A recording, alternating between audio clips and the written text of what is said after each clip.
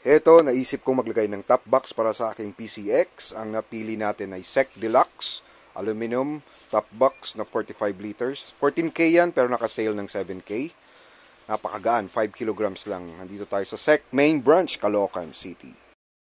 So ayan, in-unbox ni Kuya, chinek kung okay ba itong unit natin. Yan, binuksan na. Malaki po yan, kasyang-kasya ang full face helmet. Ayan, yung locking mechanism, okay naman. Tsaka yung base plate, may backrest na rin. Ayan, after ma-check, mukhang all goods naman. So, pwede na to.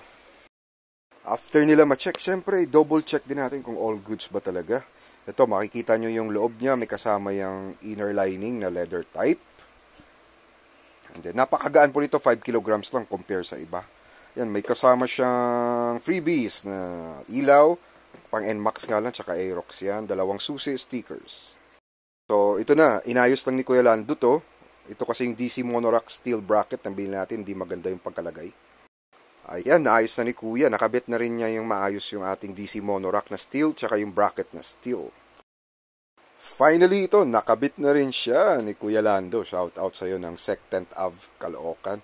Ayan, ito kasi napili nating deluxe. Magaan to compare sa iba na model ng SEC. Aluminum din naman siya, pero napaka-elegante tsaka slick ng mukha niya. So, hindi ganun ka-aggressive. So, saktong-sakto sa PCX na simple but beautiful. Napaka-slick style lang.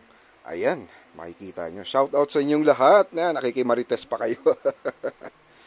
Thank you for watching. Ride safe.